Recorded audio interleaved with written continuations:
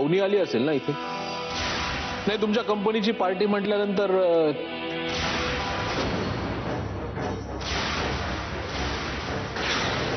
तिलाही इन्व्हिटेशन जमदाडे अ, अवनी नाही आली. अवनी नाही आली कारण तिला बरं नव्हतं. सो सॅड तिथे तो गायब इथं अवनीबाई आजारी. घोर कलियुग। घोर कलियुग।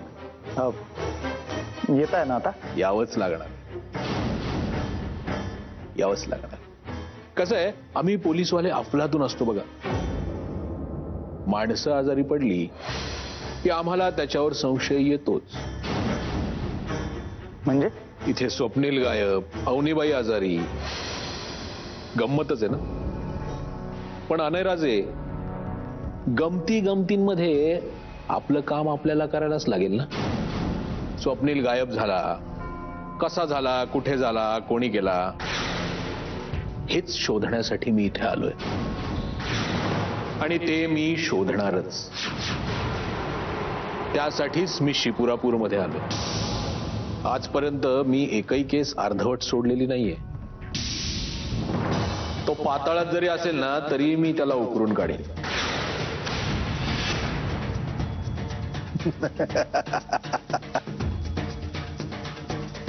तुमच्या चेहऱ्यावर एवढे टेन्शन का? हा? टेन्शन कुठे? नाही असं. एन्जॉय चणे अरे नाही पार्टी आहे ना. एन्जॉय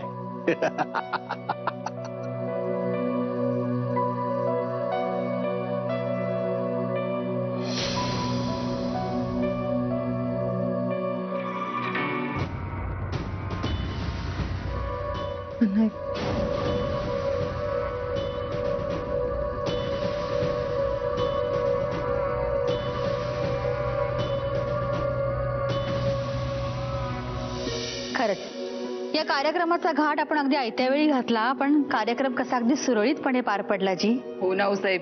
मला खूप टेन्शन आलं होतं. सगळं व्यवस्थित होईल की नाही? कपिला खरं सांगू आम्ही? इतकी वर्ष लोकांचं अबाधित राहिलेलं प्रेम आणि त्यांची श्रद्धा पाहून डोळ्याचं अगदी पारणं फिटलं आमच्या.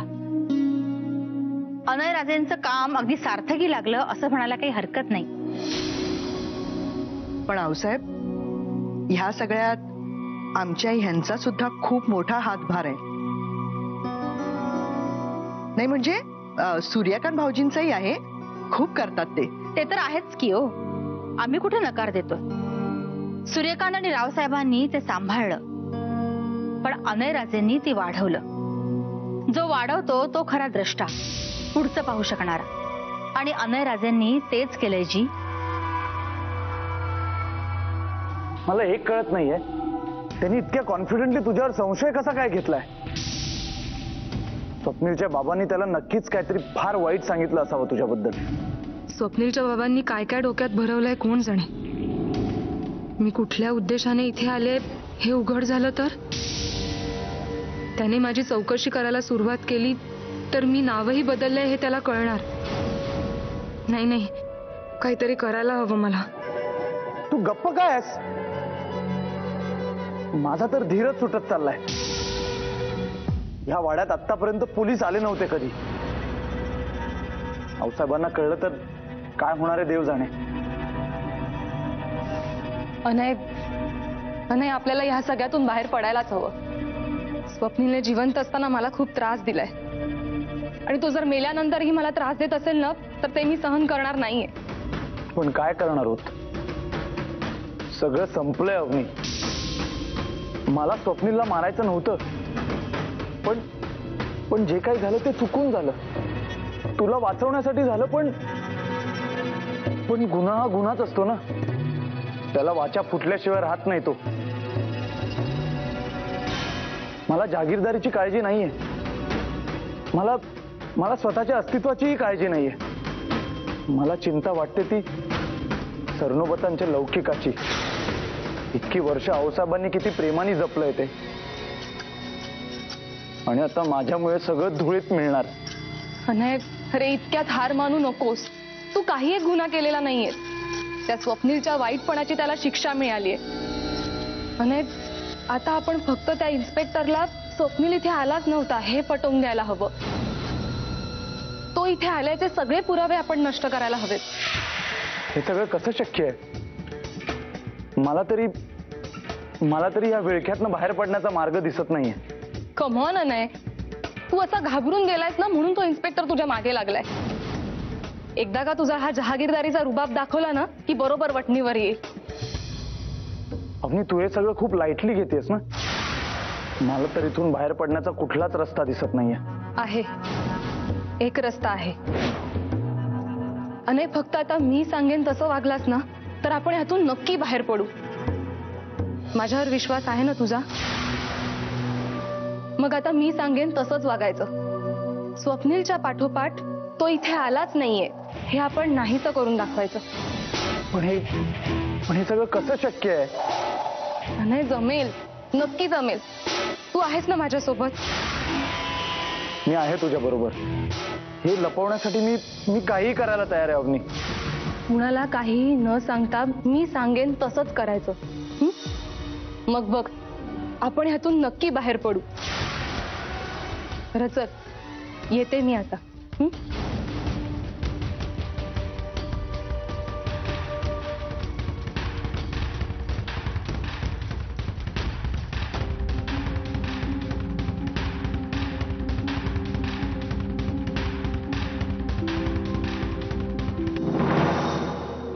अरे वा आईस्क्रीम आलं घ्या सगळ्यांनी पटापट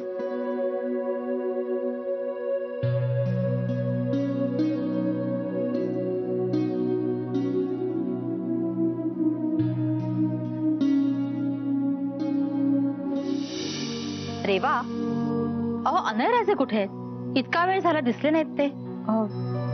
तो येतोच आहे. हा बघ आलाच याने आईस्क्रीम खाऊन घे.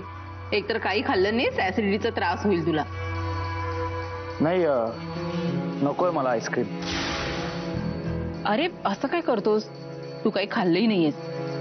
आईस्क्रीम खाऊन घे. रेवा दे त्याला. हो. अनय. तेव्हा नकोय अनय.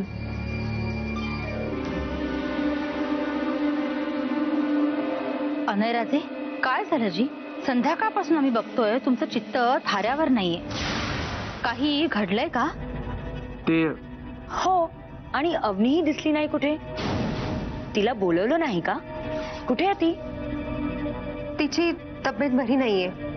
म्हणजे अनयची सुद्धा तब्येत बरी नाहीये. ऍक्च्युली काय झालंय ना त्यांनी ऑफिसमध्ये काहीतरी खाल्लं आणि आता बाधलंय दोघांनाही. अनयराजे तुम्ही आईस्क्रीम खाऊन घ्या तुम्हाला जरा बरं वाटेल. काय योगायोग आहे ना? अनय आणि अवनी एकत्र आजारी. या दोघांचं काय चाललेलं असतं देव जाणे.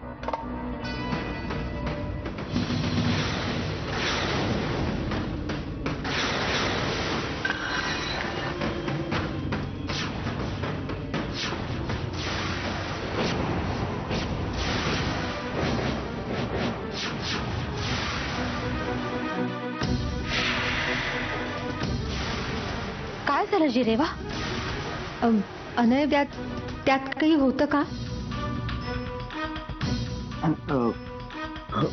हो हो. तू एक काम कर तू वर जाऊन आराम कर खूप थकलायस. मी दूध घेऊन येते तुझ्यासाठी हा? जा. बरं.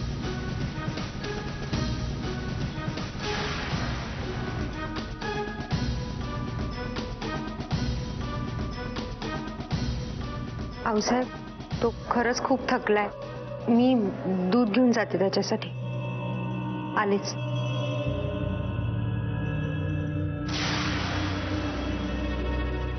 चला. दिवसभरच्या समारंभामुळे सगळेच थकलेत जी आराम करूया.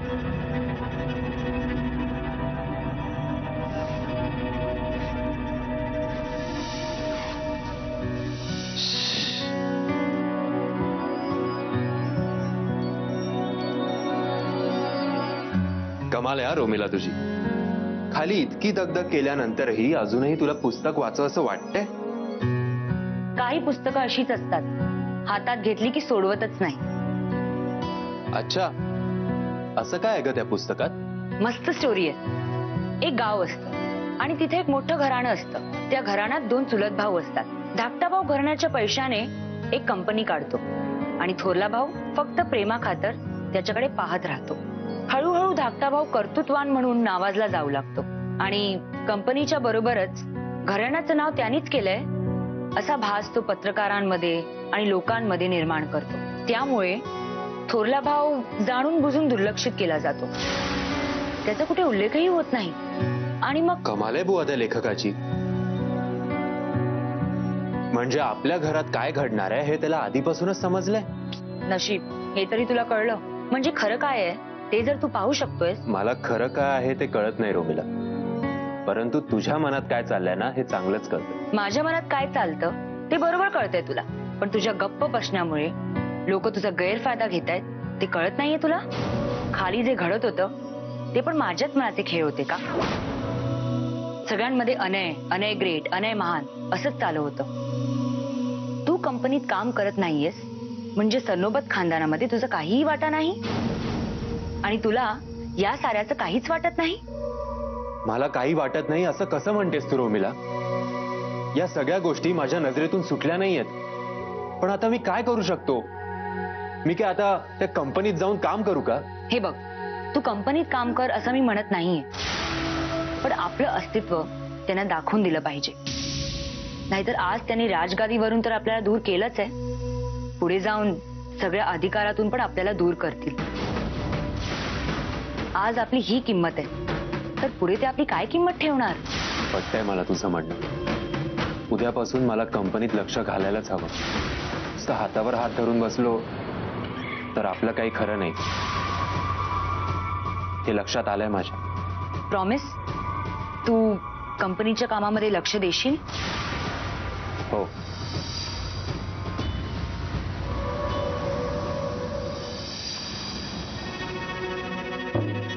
कंपनीत लक्ष तर घाल. तुला कसं हाताळायचं ते आता मला जमायला लागलंय.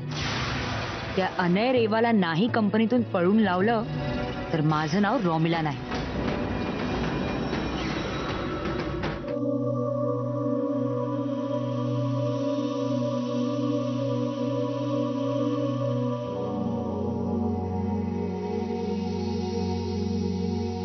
आयुष्य कशी वळणं घेत जाईल काही सांगता येत नाही. कधी वाटलं तरी होतं का? की मी या असल्या भानगडीत फसीन ते? कोणाचं वाईट आज या कसल्या प्रॉब्लेम्स मध्ये फसलोय? नाही. मला ह्यातून बाहेर यावंच लागेल. अग्नी जे म्हणते त्याप्रमाणे वागावं का? पण पण मी का करू? मी असं काहीच केलेलं विचार करून डोकं फुटायची पाळी आली आता. पण मला अवनीच्या म्हणण्याप्रमाणे वागावंच लागेल. सरनोबतांच्या इब्रतीला डाग लागू नये म्हणून तरी. अनय असा का वागतोय? झालंय तरी काय त्याला? त्याने पुढे काय करायचं ठरवलंय मला काहीच सांगत नाहीये तो. ती अग्नीही फ़ोन उचलत नाहीये. अनयच्या मनात तिने काय भरवलंय, कोण जाणे? माझ्याशी अनय बोललाच नाही तर कसं कळणार मला? अग्नीवर मी विश्वास शकत नाही. पण खूप विश्वास आहे तिच्यावर. ती अनयला योग्य सल्ला देईल असं वाटत मला. देवा, काहीही कर. पण माझ्या अनयला वाईट मार्गापासून दूर ठेव. भोळा आहे तो. त्याच्या भोळेपणाचा गैरफायदा अवनीला घेऊ देऊ नकोस.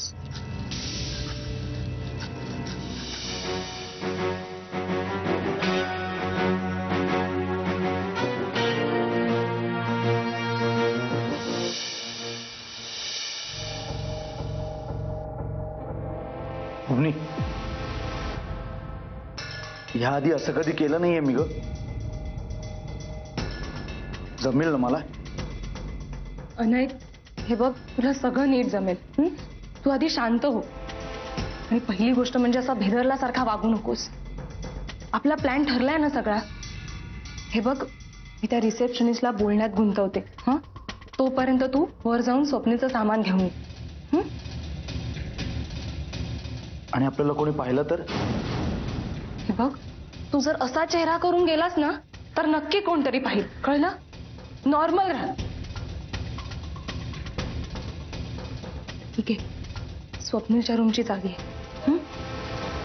आणि तुझ्याकडे कशी आली? आपण आत्ताच इथे आलो ना? ती मी स्वप्नीलच्या डेड बॉ स्वप्नीलच्या डेड बॉडीची विल्हेवाट लावताना त्याच्या खिशातून काढली होती तू हे घे ना आणि जा. आपल्याकडे वेळ खूप कमी आहे. एक्सक्यूज मी येस मला हॉटेलचं टेरिस कार्ड मिळेल का हा एक मिनिट।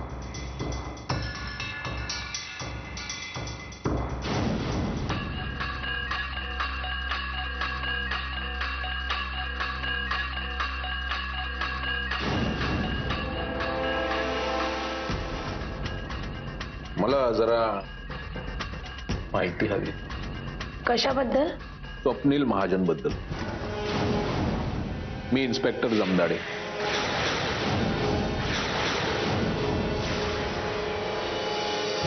मला सांगा स्वप्नील महाजन म्हणून गेल्या काही दिवसात इथे कोणी राहायला आलं होतं का? एक मिनिट.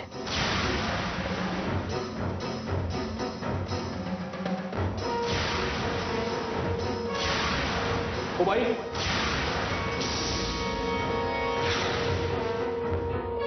काही विसरलात का तुम्ही?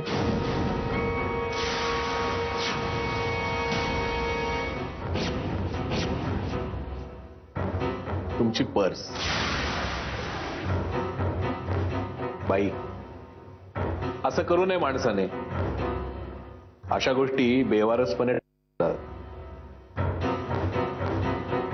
इथं नज़र हटी आणि दुर्घटना घटी असं असतंय बघा. हो. मी मी घेईन काळजी.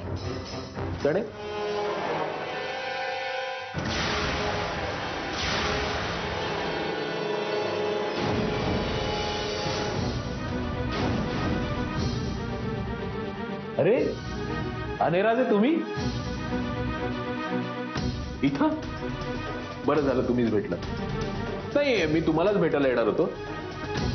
काय त्या स्वप्नीलचा अजून तपास लागला नाही. पण म्हटलं त्या अवनीबाईंची जरी भेट घालून द्या. काय? आणि या या सोबत आहेत तुमच्या? या कोण? अं, ही माझी वाईफ रेवा